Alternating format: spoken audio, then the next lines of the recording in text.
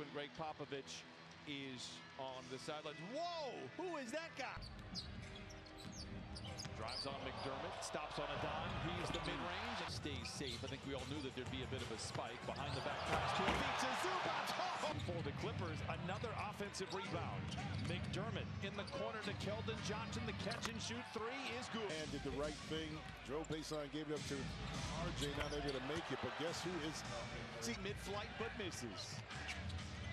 Murray in the corner to an open McDermott for throwing just 38% from the field. I thought Bledsoe was going to reverse that. White, the floater, it is good. Derrick White with 13 points, four rebounds, and a couple of assists. Well, I think